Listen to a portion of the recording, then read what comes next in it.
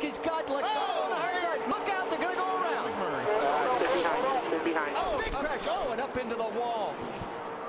Caution comes out as Michael Waltrip makes the pass. Now remember, the field was Benson and Gordon into Bowyer, and the caution comes out right about there. Let's ride with Michael Waltrip.